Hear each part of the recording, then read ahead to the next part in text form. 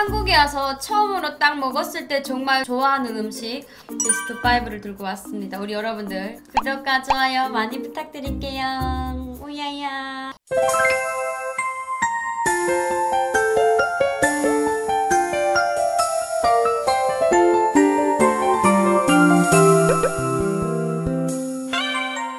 먼저 저는 제일 좋아하는 이런 남한 음식이 뭐냐면 제가 그 한국에 와서 가장 처음으로 먹어봤던 음식 중에 진짜 야 이거 너무 맛있다 하는 음식은 바로 버리굴비였어요. 버리굴비는 우리 시청자분들도 다 좋아하겠지만 저는 버리굴비가 그렇게 비싼 줄 몰랐거든요.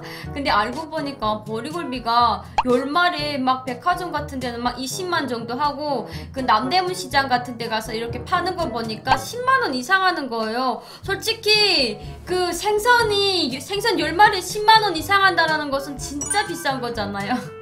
근데 제 입이 고급인지라 보리굴비 진짜 맛있었어요. 보리굴비 완전 두 번째 뭐가 있냐면 곱창볶음. 여러분 곱창볶음은 저한테 신세계였어요. 저는 곱창볶음을 어, 어떤 걸 좋아하냐면 그 야채 곱창이랑 그냥 알 곱창 그리고 순대 곱창 이렇게 좀 다양하잖아요. 근데 저는 그 이제 꼭 포장해서 먹는 곱창이 있어요. 야채 곱창 말고 순대 곱창이랑 알 곱창을 이렇게 1인분씩 포장 이렇게 해서 갖고 오면은 곱창 양도 많고 진짜 엄청 맛있거든요. 그 안에 당면도 들어가 있고 북한은 곱창이 없고 곱창은 다 순대로만 만들기 때문에 곱창 먹는다 이러면 진짜 어? 곱창을 어떻게 먹어? 특히나 볶아 먹는다 이러면 뭐야? 그거를 어떻게 볶아 먹어? 순대를 해 먹어야지 이렇게 이야기하는 사람들이 훨씬 많아요. 저는 곱창 볶음은 남한에 와서 엄청나게 맛들이었습니다. 그리고 닭발, 닭발은 너무 맛있잖아요? 그 닭발 자체가 이렇게 생겨가지고 너무 오돌오돌한 게 너무 예쁘지 않아요?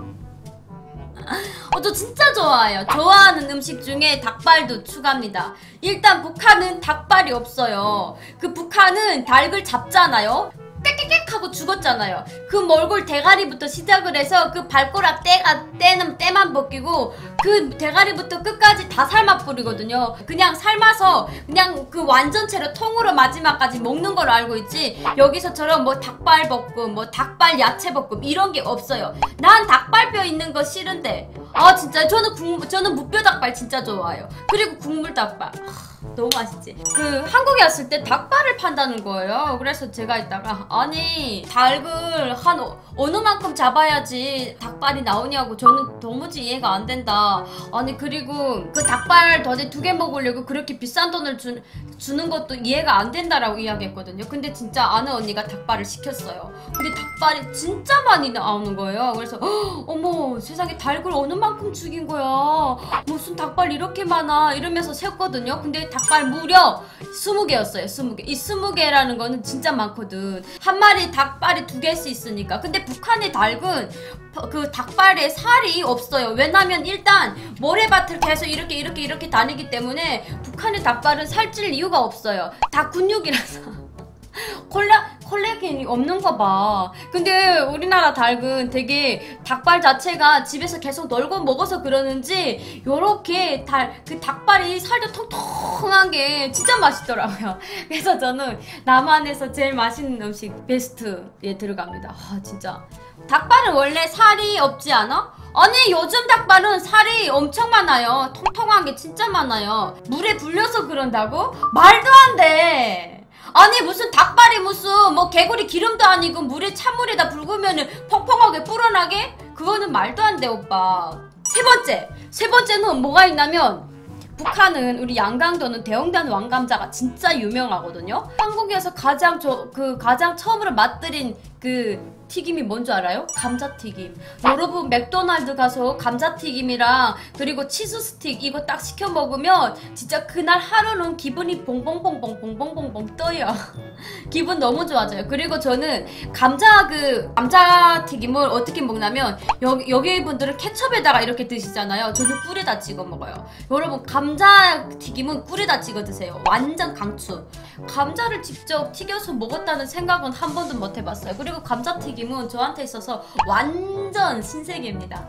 아 감자튀김 먹을수록 계속 중독성인 맛이란 말이에요. 저도 만약에 지구가 무너져가지고 딱 한 가지 음식을 먹어야 된다 이러면 감자튀김이랑 곱창볶음 두 개를 갖고 고민을 할 거예요. 그 정도로 제, 제가 정말 좋아하는 최애 음식입니다. 살찌는 음식이라고?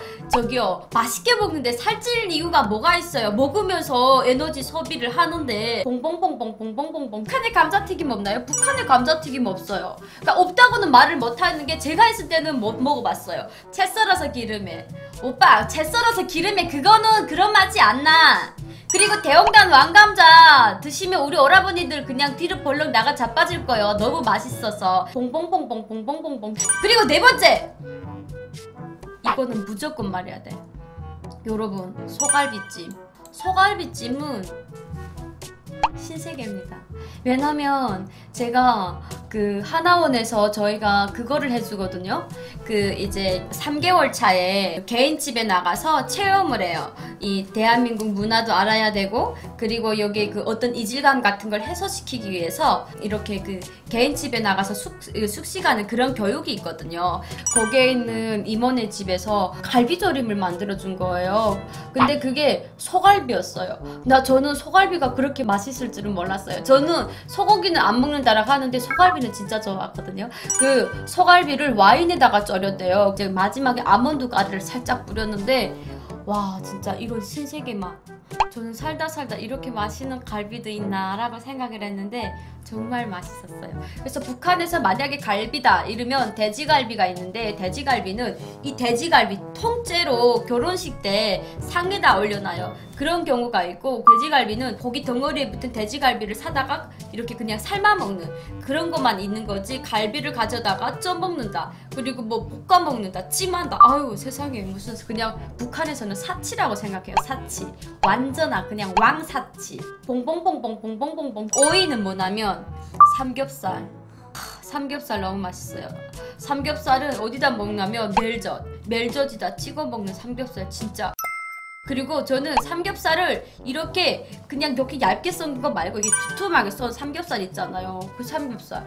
북한은 삼겹살이란 그 이름 자체가 없고 그리고 북한은 부위별로 고기가 없어요. 그래서 그냥 돼지고기다 이러면 그 앞다리살, 뒷다리살, 뭐 앞다리살, 뒷다리살, 이, 이 갈비살까지는 있는데 뭐 삼겹살, 오겹살, 뭐 무슨 이런 것까지는 없어요. 그래서 저는 나- 한국에 왔을 때 가장 좋아했던 음식이 바로 삼겹살이었어요. 삼겹살을 그냥 먹어도 먹어도 질리지 않아. 통삼겹살, 통삼겹살은 진짜 맛있지 않아요? 통삼겹살 그 바베큐 만들어진 거를 이렇게 하나 재가지고 우걱 우걱 우걱 우걱 먹으면 진짜 맛있어요.